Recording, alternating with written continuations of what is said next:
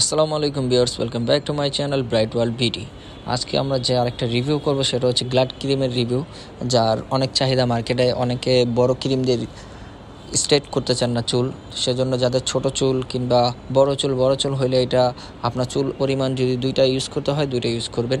আর যাদের ছোট চুল, তারা অবশ্যই একটাতেই হয়ে যাবে। আর ছেলেরা যদি করে, তাহলে তাদের একটাতে দুইবার হবে। যেমন আজকে আমি করব এবং দেখাবো আপনাদেরকে গ্লাড ক্রিমের সম্পূর্ণ রিভিউটা, কীভাবে এটা ইউজ করতে হবে।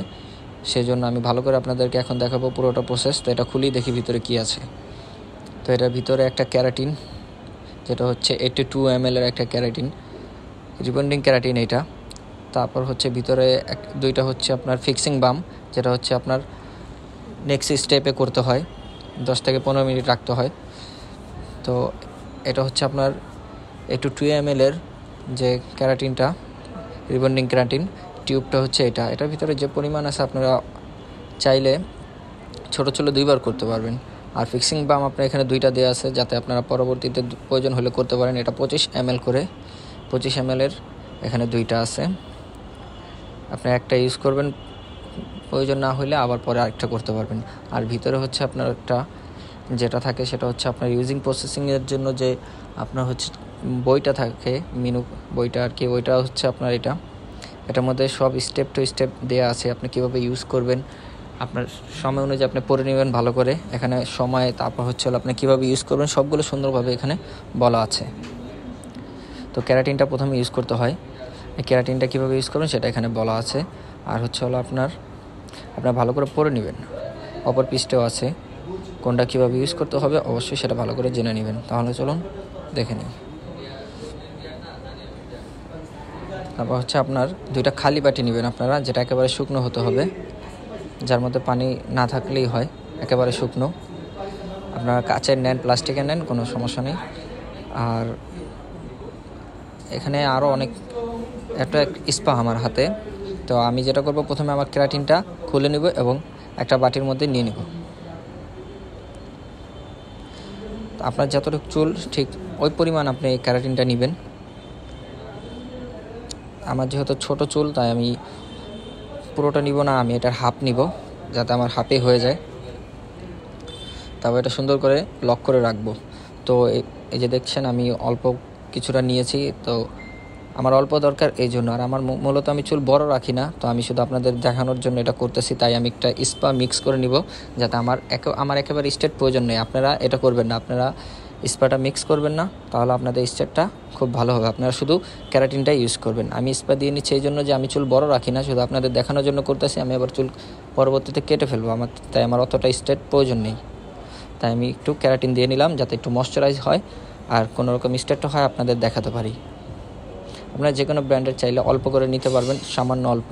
ওটার সাথে মিক্স করে নেবেন ক্যারাটিনটার সাথে যাতে চুলটা স্মুথ হয় রাফ না হয়ে যায়। তারপর হচ্ছে আপনাদের এটাকে ভালো মতো মিক্স করে নিতে হবে ব্রাশ দিয়ে। তো আমি স্পাটা মূলত এই জন্যই নিচ্ছি যাতে আমার ওই রকম স্টার দরকার নেই। আপনার শুধু ক্যারাটিনটাই নিয়েন।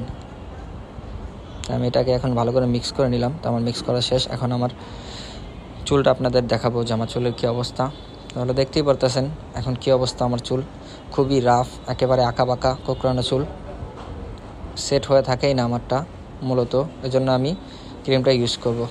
তো আমি কিছু সামগ্রী নিয়ে এখানে বসেছি, যেমন স্টেট মেশিন তারপর হচ্ছে ক্রিম আবি যাবি তো আমি এখন চুলটাকে একটু গুছাই নিই। চিরুনি দিয়ে ভাস করে নিলে কী হবে? ক্রিমটা দিতে ইজি হবে।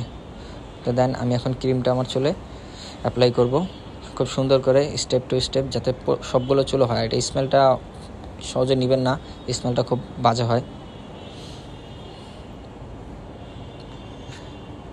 আমি এখন আমার চুলে অ্যাপ্লাই করা শুরু করলাম।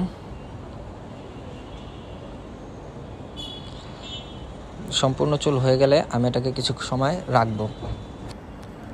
তো আমি আস্তে আস্তে আমার সবগুলো চুলেই করা শেষ করবে, এটাকে সুন্দরভাবে দিয়ে দিব। আপনারা সুন্দরভাবে দেখে করবেন আয়নার মধ্যে। এটা একা করাটা খুব টাফ যেহেতু আমার কোনো পার্টনার নেই, সেহেতু আমি একাই করতেছি আপনাদের দেখানোর জন্য। কষ্ট হইলেও আমার একটু করতে হইতেছে এটা। মূলত আমি এত বড় চুল রাখি না। তারপর এটা আপনাদের কিছুক্ষণ পর পর একটু হাসরাতে হবে। যেমন আপনারা পঁচিশ থেকে তিরিশ মিনিট এটাকে চুলে রাখবেন, তার মধ্যে আপনারা দুই চারবার সেটাকে ভালো করে চিরুনি দিয়ে টানবেন কিছুক্ষণ পর পর। আর কি, চিরুনি থাকা ক্রিমগুলো আবার সেই মাথার মধ্যে দিয়ে দিবেন। দেন এমন করে আপনাদের কিছুক্ষণ রাখতে হবে। দেখেন, এখন আমি অনেকক্ষণ ধরে এখানে রেখেছি। এখন এটা আমি ভালো করে দেখাচ্ছি। ক্রিমটা আমার পুরো একেবারে চুলো হয়ে গেছে। ভালো করে আমি এটাকে অ্যাপ্লাই করে নিছি সম্পূর্ণ চুলে। তো আমার এখন এটা ওয়াশ করে আসলাম আমি। এখন আমি টাওয়াল দিয়ে এটাকে পুছে নিতেছি। যেন আপনার শুকাতে একটু দ্রুত শুকাতে পারি এবং আপনাদেরকে খুব দ্রুত ভিডিওটা করে দেখাতে পারি। তো আমি এখন এটাকে দেখছি পারছেন অলরেডি স্ট্রেট হয়ে গেছে চুলগুলো, শুধু ক্যারাটি নেই। তো আমি এখন এটাকে কি করব? হেয়ার ড্রাই দিয়ে কিছুক্ষণ শুকাবো এটাকে, যেন দ্রুত শুকায়।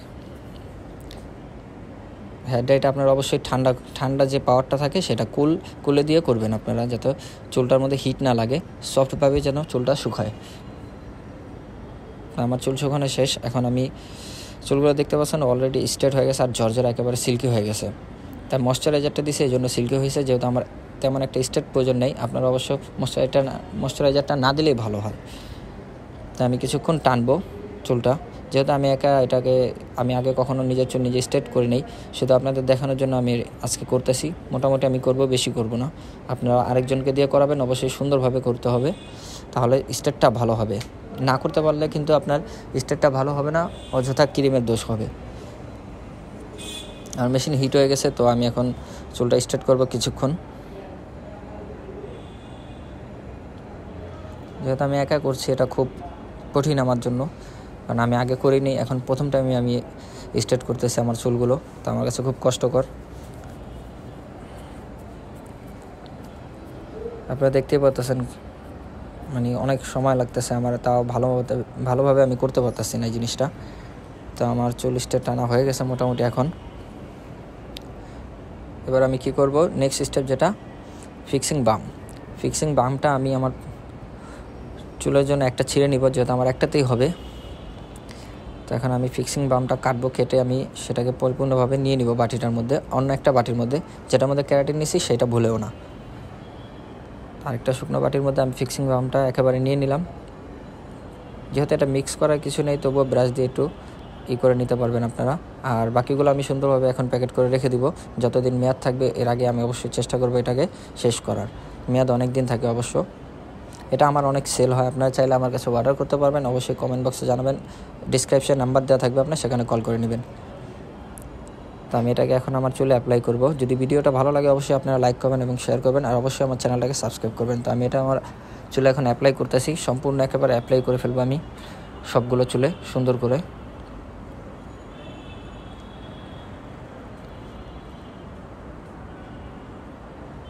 একেবারে সবগুলো চুলো করতে হবে।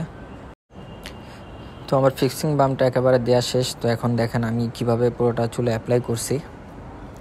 আমি সম্পূর্ণভাবে একটু দেখাই।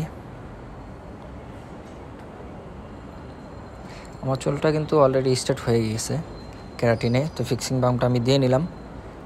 এখন আমি ওয়াশ করব এটা। তো আমার ওয়াশ করা শেষ। এখন আমি আবার টাওয়াল দিয়ে চুলটাকে একটু শুকিয়ে নিব। ভালো করে একেবারে শুকিয়ে নিব টাওয়াল দিয়ে তারপর আমি হচ্ছে কিছুক্ষণ সময় এটাকে হেয়ার ড্রাই দিয়ে ভালো করে শুকাবো চুলটাকে, যেন চুলটা একেবারে সফটভাবে একেবারে যেন শুকায়। চুলটা অবশ্যই হেয়ার ড্রাইটা আপনাদের ঠান্ডা অবস্থায় রাখতে হবে। তো এখন দেখতে পাচ্ছেন আমাদের, আমার চুলটা একেবারে ঝরঝরা হয়ে গেছে। তো মোটামুটি অনেক ভালো স্টেট হয়েছে। যারা ভালোভাবে প্রসেস করতে পারবেন, অবশ্যই তাদের চুলটা ভালো স্টেপ স্টেট হবে আর কি। তো আমি ভালো করে দেখাচ্ছি, আপনাদের চুল একেবারে ঝরঝরা আর স্টেট হয়ে ফিক্সিং বামটা দেওয়ার পরেও কিন্তু আপনারা চুলটাকে একবার টেনে নেবেন সুন্দর করে, যাতে চুলটা একেবারে সফট থাকে। তো আমি আর টানবো না। আমি এভাবেই রাখব, কারণ আমি চুল বড় রাখি না সেজন্য। তো আপনারা দেখতে পাচ্ছেন, গ্লাড ক্রিমের কাজটা কি একেবারেই সুন্দরভাবে সফটভাবে চুলটা স্ট্রেট করে ফেলছে। তো আপনারা অর্ডার করলে অবশ্যই আমাদের চ্যানেলে অর্ডার করে নেবেন। ডিসক্রিপশনে দেওয়া নাম্বারটাতে ধন্যবাদ সবাইকে। আসসালামু আলাইকুম।